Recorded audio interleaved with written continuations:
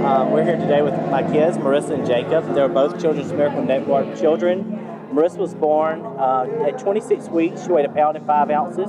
And Jacob was born at a little over 30 weeks. He weighed four pounds and 10 ounces. And we were just blessed to have the opportunity to be here at the Children's Miracle Network Hospital and um, to have great care. They took care of both of my kids and have helped them along the way. Um, we were even just today here for an x-ray. And so um, it's just been a blessing for us to be able to be a part of the Children's Miracle Network for the past 17 years.